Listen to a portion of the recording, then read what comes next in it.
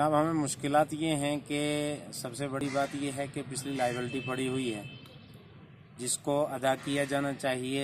2017 की खसूस लाइबिलिटी पड़ी हुई है। अभी 2018 की पेमेंटें हो रही हैं। वो जिस कदर पैसा आ रहा है उसी तरह से हो रहा है। हमें हमारा ये मुतालबा है कि उसे कायदे से हो, होना चाहिए। जिस तरह से उसूल है कायदा है उस तरह से होना चाहिए। और साथ में डिपार्टमेंट के हजरात वहाँ ऑफ़िस में बैठें।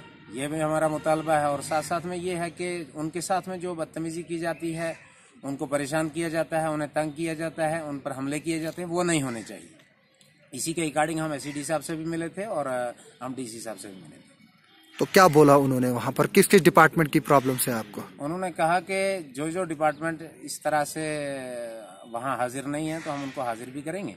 और साथ साथ में जो है हम ऐसे अशखास के खिलाफ जो ब्लैक मेलर्स हैं वो उनमें से कुछ मुलाजिम हजरात भी हैं जो मुलाजिम होने के बावजूद जो है वो डिपार्टमेंट को ब्लैकमेल करना चाहते हैं तो उनको भी उनके खिलाफ भी हम कार्रवाई करेंगे। राशन की किल्लत की बात की जा रही है सुनने में मिल रहा है कि लोग बता रहे हैं कि वहाँ दो से तीन महीने से राशन नहीं मिला है।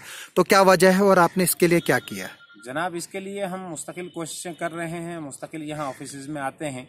और राशन की किल्लत को हल किया जाना चाहिए, लेकिन डिपार्टमेंट की तरफ़ से ये कहा जाता है कि चूँकि ऊपर से ही इसी तरह का चला आ रहा है तो अब वहाँ तो हमारी तो भरपूर कोशिशें हैं कि आवाम को राशन मिलना चाहिए, और आवाम को राशन न मिलने की वजह से वाक़ता आवाम बहुत ज़्यादा परेशान, गरीब बहुत ज़्यादा परेशान है, गरीब मारा जा रहा है। रमज़ान का महीना है, आगे ईद आ रही है, और उसकी वजह से बहुत ज़्यादा परेशानियाँ हैं।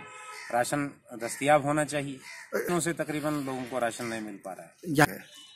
अब यही उम्मीद की जा रही है कि डिपार्टमेंट इस पर तवज्जो देगा। मुझे तो लगता है कि गबन न करने के अलावा राशन गया कहाँ?